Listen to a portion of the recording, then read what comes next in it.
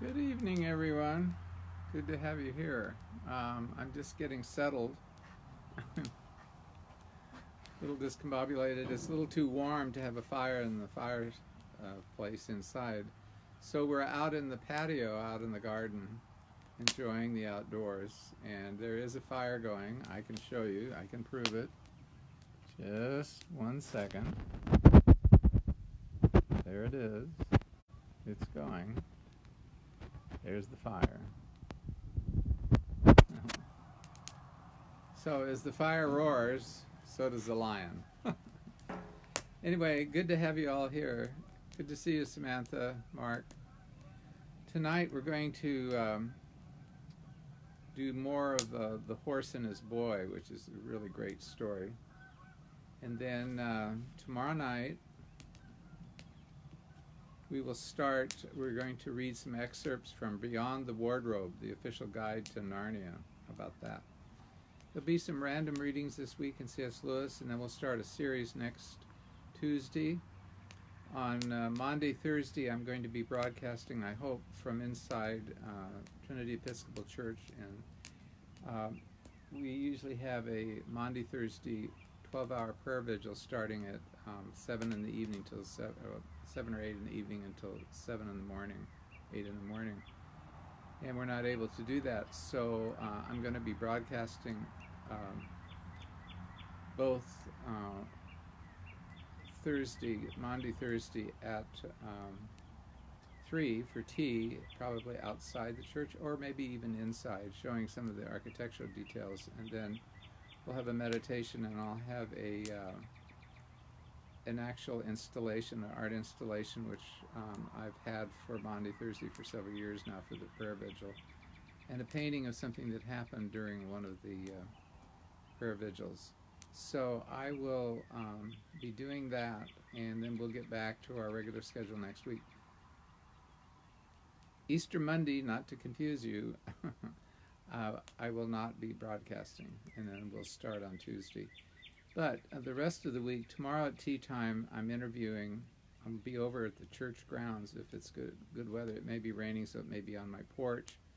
I'll be interviewing artist um, Ed Knippers. He'll be talking about his new work, and I've he does large biblical narrative paintings, especially crucifixion. There was one enormous uh, painting of the of the resurrection that I placed at uh, uh, several churches in the, in D.C. in the city, um, Anglican churches, and uh, it was unveiled after the the Great Shout, and I'll go through all of that. Maybe we can go through that a little bit tomorrow. Anyway, I will start now and um, continue, and then tomorrow for tea time, uh, while interviewing Ed Knippers, I'm going to show you how to make a um, Easter nest for the rabbit to land in on, on Easter morning. And then uh, later, I'm going to show you, um, hopefully on, um, I think on, um, yeah, Wednesday, sorry. Wednesday, I will be, um, this being at home all the time is confusing me. Anyway, Wednesday, uh, we will be making a garden tomb, and I'll show you how to do that with what just what you have. If you'd like, today at tea time, I showed everybody how to do an Easter egg tree and um, some things like that. So here we go. So I'm going to just go back to just before we ended. Uh, and, and the narrator is saying, You must not imagine that Shasta felt at all as you and I would feel if we had just overheard our parents talking about selling us for slaves. For one thing, his life was already little better than slavery. For all he knew, the lordly stranger on the great horse might be kinder to him than Arshish. Arshish was trying to sell uh, the boy, Shasta. For another, the story about his own discovery. For another, the story about his own discovery in the boat had filled him with excitement and with a sense of relief. He had often been uneasy because, try as he might, he had never been able to love the fisherman. And he knew that a boy ought to love his father. And now, apparently, he was no relationship to Arshish at all. That took a great weight off of his mind. Why, I might be anyone, he thought. I might be the son of a Tarkaan myself, or the son of a Tisroc, may he live forever, or of a god. He was standing out in the grassy place before the cottage while he thought these things. Twilight was coming, a bit like today. Twilight was coming on apace, and a star or two was already out, but the remains of the sunset could still be seen in the west. Not far away, the stranger's house, loosely tied to an iron ring in the wall of the donkey stable, was, was grazing. Shasta strolled over to it, this donkey, and patted its neck. It went on tearing up the grass and took no notice of him. Then another thought came into Shasta's mind. I wonder what sort of man that Tarkaan is, he said out loud. It would be splendid if he was kind. Some of the slaves in great lords' houses have next to nothing to do. They wear lovely clothes and eat meat every day. Perhaps he'd take me to the wars, and I'd save his life in a battle, and then he'd set me free and adopt me as his son, and give me a palace and a chariot and a suit of armor. But then he might be a horrid, cruel man. He might send me to work on the fields in chains. I wish I knew.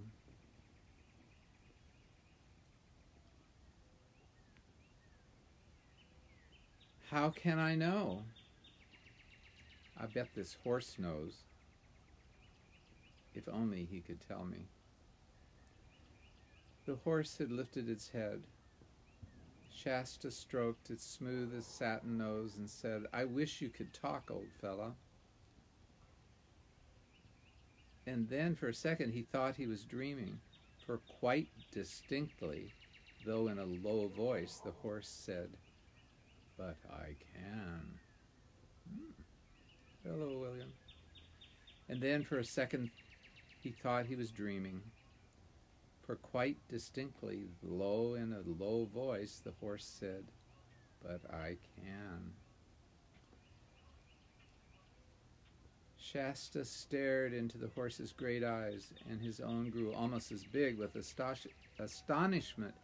However, did you learn to talk? Hush.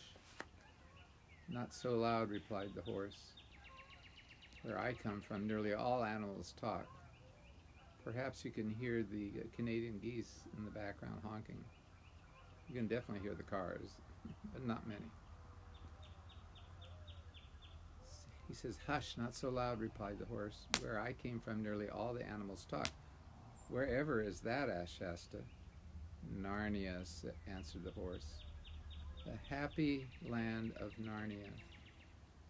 Narnia of the heavenly, heathery mountains and the thymy downs. Narnia many rivers, the plushing glens, the mossy caverns, and the deep forests ringing with the hammers of the dwarfs. Oh, the sweet air of Narnia. An hour's life there is better than a thousand years in Calormen.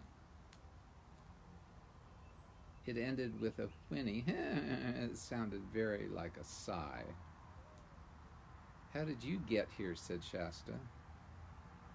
Kidnapped, said the horse, or stolen or captured, whichever you like to call it. I was only a foal at the time.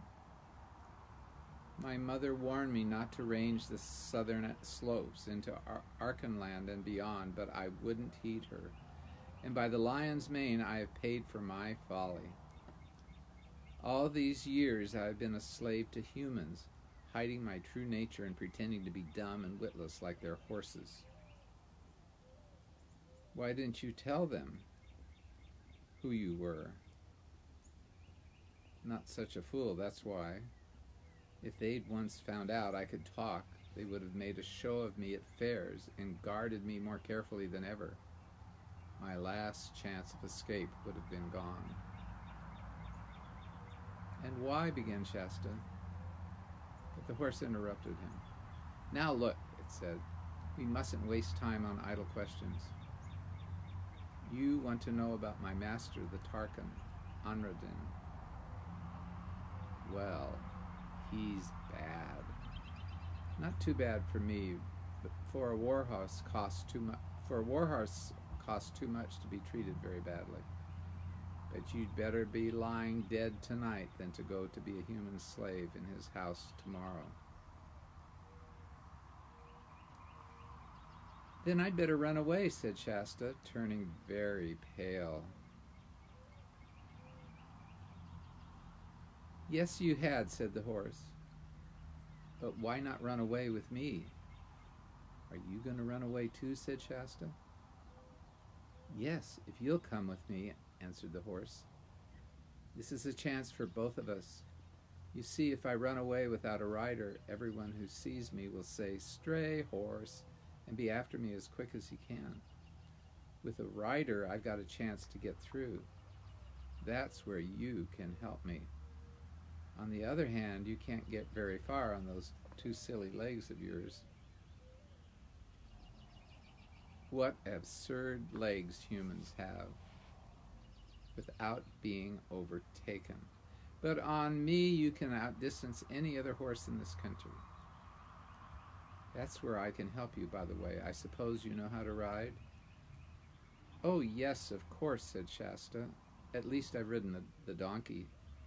Ridden the what? retorted the horse with extreme contempt. At least that is what he meant. Actually, it came out as a sort of neigh. Ridden the what, what, what, what, what, what, what, what.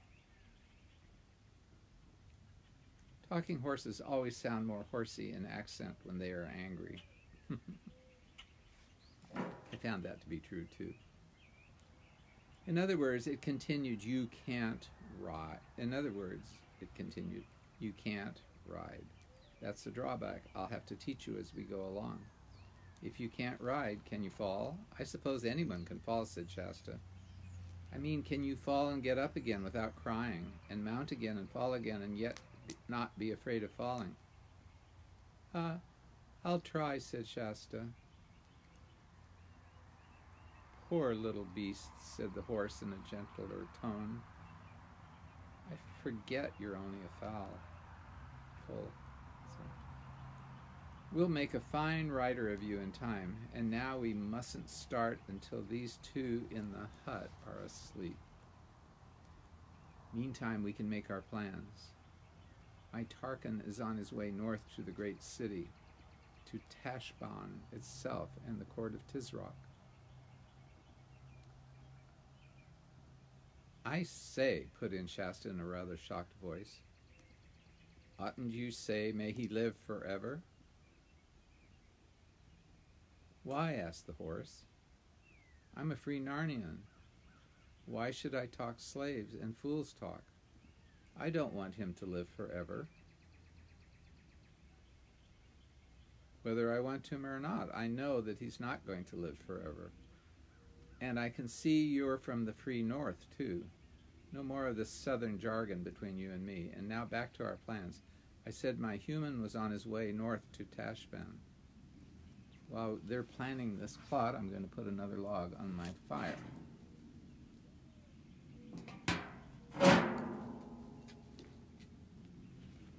Okay, now they're making their plans.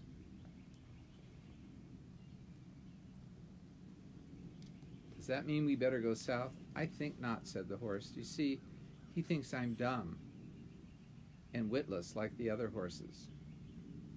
Now, if I really were, the moment I get loose, I'd go back home to my stable and paddock, and back to his palace, which is two days' journey. South. That's where he'll look for me. He'd never dream of my going on north on my own. And anyway, he will probably think that someone in the last village who saw him ride through has followed us here and stolen me. Oh, hurrah, said Shasta. Then we'll go north. I've been longing to go north all my life. Of course you have, said the horse. That's because of the blood that's in you. I'm sure you're true northern stock. But Not too loud. I should think they'd be asleep by now. I'd better creep back and see, suggested Shasta. That's a good idea, said the horse, but take care you're not caught.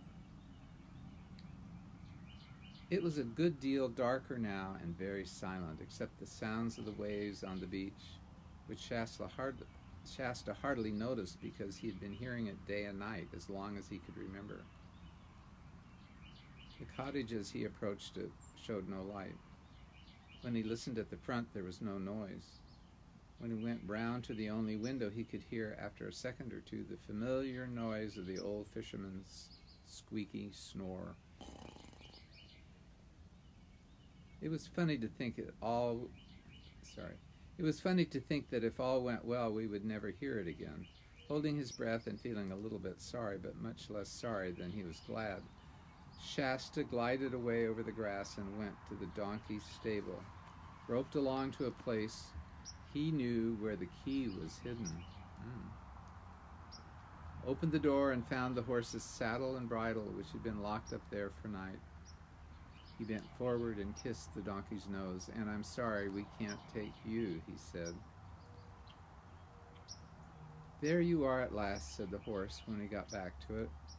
I was beginning to wonder what had become of you. I was getting your things out of the stable, replied Shasta. And now can you tell me how to put them on? For the next minutes, Shasta was at work, very cautiously to avoid jingling, while the horse said things like, Get that berth, girth a bit tighter, or you'll find a buckle lower down or you'll need to shorten those stirrups a good bit. When all was finished, it, it said, Now we got to have reins for the look of the thing, but you won't be using them. Tie them to the saddle bow very slack so that I can do what I like with my head. And remember, you are not to touch them. What are they for then? asked Shasta. Ordinarily, they're for directing me, replied the horse. But as I intend to do all the directing on this journey, you please keep your hands to yourself. Hi, Matt and Jack. And there's another thing. I'm not going to have you grabbing my mane. Mm. But I say, pleaded Shasta, if I'm not to hold on by the reins or by your mane, what am I to hold on by? You hold on with your knees, said the horse. That's the secret of good riding. Grip my body between your knees as hard as you like. Sit straight up, straight as a poker. Keep your elbows in. And by the by the way, what did you do with the spurs? I put them on my heels, of course, said Shasta. I do know that much. Well, then you can take them off and put them in the saddlebag. We may be able to sell them when we get to Tashbaan. Ready? And now I think you can get up. Oh, you're a dreadful height, gasped Shasta after his first and unsuccessful attempt. I'm a horse, that's all, was the reply. Anyone who think I ha I was a haystack from the way you were trying to climb up. Eh, sorry, guys. Anyone would think I was a haystack by the way you were trying to climb up me. There, that's better. Now sit up and remember what I told you about your knees. Funny to think of me who led cavalry charges and won races having a potato sack like you in the saddle. However, off we go. It chuckled not unkindly and it certainly began their night journey with great caution. First of all, they went just south of the fisherman's cottage to the little river where they ran, which ran into the sea, and took care to leave in the mud some very plain hoof marks pointing south. That's very clever. But as soon as they were in the middle of the ford, it turned upstream and waited till they were about a hundred yards further inland than the cottage. Then it selected a nice gravelly pit of bank, which would take no footprints and came out on the northern side. Then, still at a walking pace, it went northward to, till the cottage, the one tree, the donkey stable, and the creek. Everything, in fact, that Shasta had ever known had sunk out of sight in the gray summer night darkness. A little bit like tonight. Um, the of the reflection of the sunset behind me is really beautiful. Uh, I'm almost, I'm almost facing um, west, kind of northwest. Uh, west, west is straight, kind of off to the left of the screen.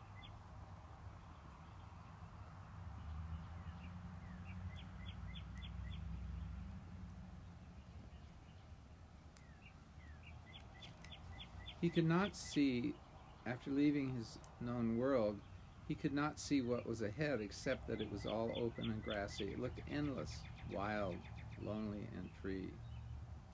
And free. I say, observed the horse, what a place for a gallop. Oh, don't let's, said Shasta. Not yet. I don't know. I just don't know how to. Please, horse. I don't know your name. Bree, Brittany, Brittany, oh, hey, ah, said the horse. I'll never be able to say that, said Shasta. Can I call you Bree? Well, if it's the best you can do, I suppose you must, said the horse. And what shall I call you? I'm called Shasta. Hmm, said Bree, well, now that's a name that's really hard to pronounce. But now about this gallop, it's a good deal easier than trotting if you only knew because you don't have to rise and fall. Grip with your knees and keep your eyes straight ahead between my ears. Don't look at the ground. If you think you're going to fall, just grip harder and sit up straighter. Ready? Now for Narnia and the North. This endeth this lesson. Hi, Robert, Jim. Uh, I have a story to tell. I, um, a few years ago, injured my vertebrae, and I went to the physical therapist. And I live out here in horse country. There are horses just behind us here and over across the street. And um, Trinity Episcopal Church is just across the street. Anyway, I have to tell you. So I went to the uh, physical therapist, and we were doing really, really great. And I said, you know, I'd like to revive horseback riding. When I was in junior high, I loved horseback riding. My my folks had horses when I was first uh, taken by them, and then when we moved, they got rid of them because my mom got thrown off a horse and it injured her back. It turned out the horse was blind and they didn't know it. Somebody sold them a, a bad horse. I know another time uh, they were thrown because of a rattlesnake. We lived up in the hills in Southern California. Anyway, so I've lived out here in the hunt country and decided maybe it would be fun to uh, ride horses again. And so what what he just described about the gallop and the trotting, I said, um, the physical therapist, I said, I just I think I'd like to ride again. He said, but I, I have a concern the rocking back and forth when the horse is going and trotting and so forth. Walking uh, would that injure my lower back? Would that be hard for my lower back? And he smiled and said well some people say yes and some people say no. However i would be more concerned about the distance between the saddle and the ground. So there you have it my scott. Anyway this endeth this story, and love having you with with me today. Uh, I'm next going to read some excerpts from Beyond the Wardrobe, the official guide to Narnia. That'll be a lot of fun. Uh, we'll read this until we're done, and then uh, I'm going to be uh, doing different things this Easter, as I said at the beginning. All of the programs, the tea time at 3, except for Mondays at 4, but every other day 3, and fireside readings at 7 will be the same this week, 3 and 7, and all of them are eventually posted on YouTube. And my YouTube uh, channel is Glymfeather, G L Y M F E A T H E R, Hall, H A L L, the name of my house.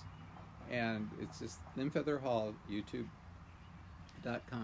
I would love any suggestions of anything you'd like to have read of Lewis's. I have something in mind and I'll be announcing it later. Uh, Thursday evening, I will be saying a prayer. It's our Maundy Thursday service at our church, and since no one's there, I'm going to have both the tea time and the um, evening, I hope, there, at least the evening and maybe the tea time. If not, it'll be outside because I'm going to start giving you a tour of the, the beautiful grounds. There's an outdoor chapel. There's, um, it's just beautiful. There are 40 acres set aside for ecclesiastical purposes. And I'll tell you some stories about why I named it um, the Bridge at Glymfeather Hallows.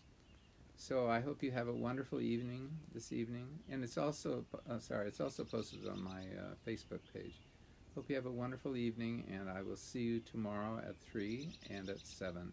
Thanks so much for joining me. God bless.